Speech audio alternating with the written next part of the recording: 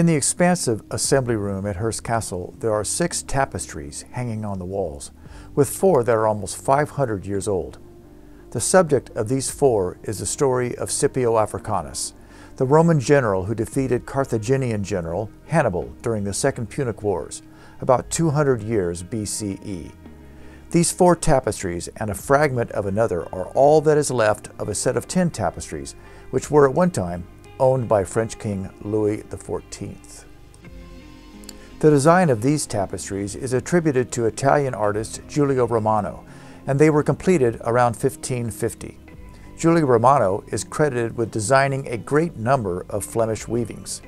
Giulio Romano was trained at the school of Raphael. As it turns out, Romano was so well known that William Shakespeare referred to him in his play The Winter's Tale. It's the only time Shakespeare ever referred to a Renaissance artist in one of his plays.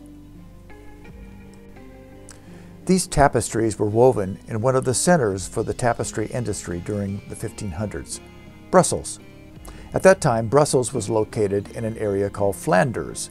Today, Flanders is part of the low-lying country of Europe known as Belgium.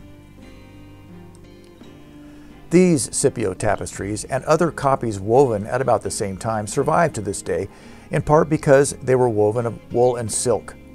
The earliest version of the story of Scipio Africanus was woven with threads of gold and silver. This original collection, called the Editio Princeps, consisted of 22 separate tapestries. Unfortunately, these were burned in the summer of 1797 by the French government to recover their precious metals. The title of this tapestry is Scipio Africanus receiving the Carthaginian envoys. In it, we see the Roman general Scipio, dressed in his star-covered blue cloak, walking among the envoys from the city of Carthage. The envoys have been sent by their leader Hannibal to sue for peace and beg for mercy after being defeated in the decisive Battle of Zama in the year 202 BC. Scipio appears merciful and noble as he gestures with his open arms toward the envoys. The border of this tapestry is adorned with acanthus leaves, flowers, and fruit. Near the bottom, we see young boys picking fruit and tugging at the leaves of the border.